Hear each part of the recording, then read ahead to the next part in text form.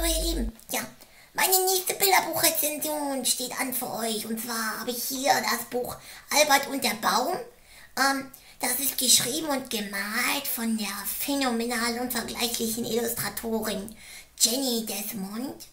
Ähm, das heißt vom erschienen beim Magellan Verlag 2016. Und ähm, ich habe das Buch in einer Kuschelkiste gefunden in einem ähm, Buchladen. Und es hat mich erstmal gar nicht so sehr angesprochen, muss ich sagen. Der Titel ähm, hat mir nicht so viel gesagt, aber dann habe ich auf den Stil gelohnt und dachte, hm, ich kenne was, was so ähnliches. Habe dann die Autorin entdeckt und wusste sofort, das muss ich haben.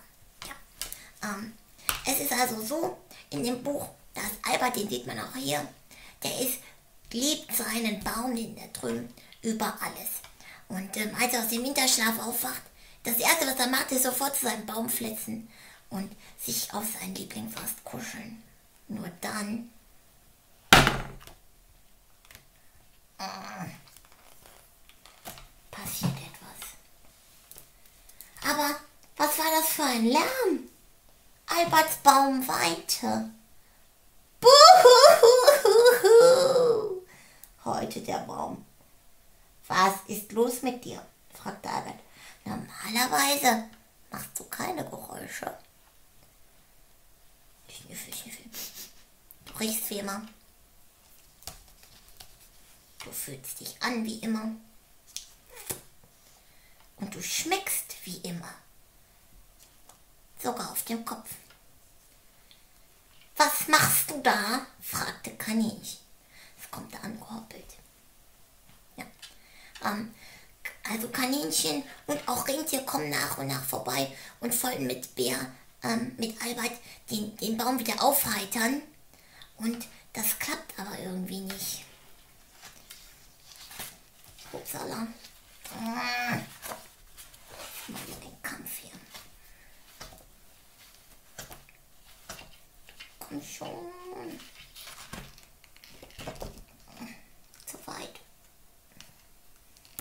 Oh Mann. Danke.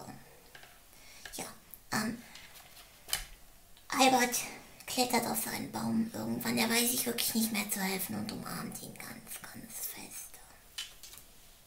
Er tut tief Luft und klettert auf seinen Lieblingsast.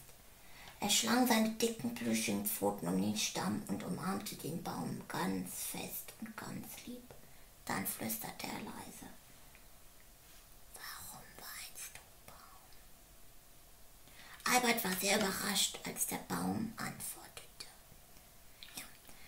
Ähm, mir möchte ich euch von dem Inhalt des Buchs erstmal gar nicht erzählen. Ähm, aber ich will euch ja noch ein paar andere Sachen aus dem Buch zeigen. Also zum Wortstil kann man sagen, dass ähm, die, die Wörter eigentlich sehr, sehr leicht sind. Es ist viel wörtliche Rede und auch ganz besonders nicht nur, dass ähm, die Bilder noch eine ganz weite Geschichte erzählen, sondern auch in den Bildern sind nochmal extra Texte integriert, die im normalen Text gar nicht vorkommen.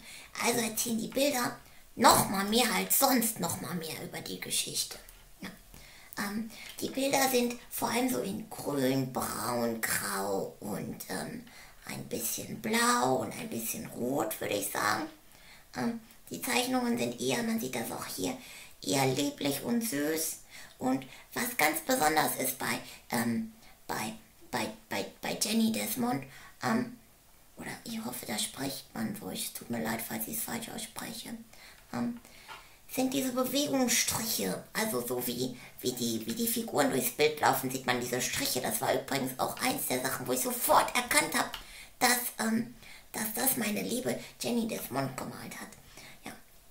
Und auch ganz, ganz süß ähm, sind die Gesichter der Figuren, die einfach phänomenal mit ganz einfachen Mitteln und Strichen die, ähm, die Emotionen ausdrücken. Also dieses ganz schelmisch grinsende Kaninchen da unten. Das mag ich besonders.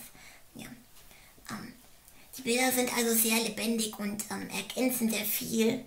Und ähm, die ganze Stimmung ist, mit sehr viel Bewegung. Also das kommt auch durch die Bewegungsstriche, nehme ich mal an. Und auch durch das viel Weiß, da ist sehr viel Platz, um ähm, dieser Bewegung auch Raum zu geben und um auch die Fantasie dann noch ein bisschen spielen zu lassen, was dann noch so passiert. Ja, zur Altersempfehlung würde ich sagen, ähm, dass es wahrscheinlich nicht ganz so einfach ist, die Geschichte voll zu erfassen ohne den dazugehörigen Text.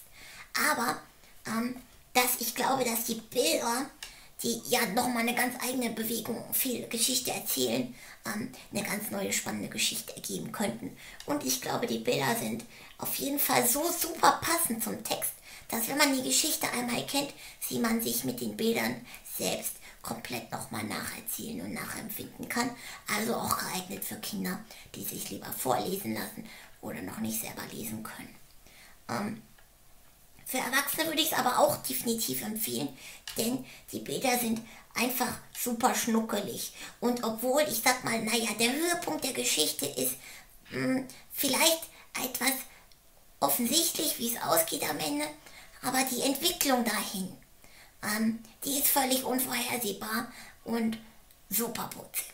Also, wenn man putzige Bücher mag, würde ich das auf jeden Fall empfehlen. Denn was die beiden und auch ähm, Rentier und so noch unternehmen, um Baum glücklich zu machen, ist wirklich oberschnuffelig. Ja. Ähm, für die Schule würde ich es auch empfehlen, vor allem auch zum Vorlesen, vielleicht in der, ähm, in der Frühstückspause oder wenn einfach mal ein bisschen Zeit ist. Habe ich übrigens auch schon gemacht an einer Grundschule. Ähm, die Kinder fanden es wundervoll und haben sich massiv kaputt gelacht. Ähm, und wenn man es in den Unterricht reinbauen möchte, würde ich sagen, dass ähm, es auf jeden Fall für Kunst geeignet ist. Denn wie ich schon sagte, die, ähm, die Emotionen der Figuren sind mit so einfachen, wundersüßen Mitteln dargestellt, dass ähm, man das auf jeden Fall analysieren könnte, wie diese Ausdrücke zustande kommen. Und die sind auch so gemacht, dass vielleicht auch nicht die Figuren selber, aber zumindest die Gesichtsausdrücke ähm, Kinder auch super selber nachzeichnen und ausprobieren können, welche Stimmungen dann entstehen. Was mir sonst auch noch sehr gut gefällt, ist, dass der Inneneinband auf beiden Seiten ähm, schon zur Geschichte gehört. Da sieht man also hier zum Beispiel ganz vorne, da sieht man ähm, Albert, wie er schläft und träumt von seinem Baum.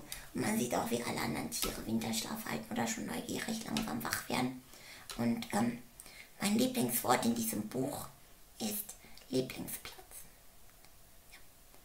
Ich, ähm, ich hoffe, ich konnte euch einen kleinen Einblick geben von, von dem Buch Albert und der Baum. Ähm, falls ihr es kennt, würde ich mich freuen, wenn ihr, wenn ihr mir mal erzählt, wie es ihr so gefunden habt. Und dann sage ich sehr vielen Dank und ähm,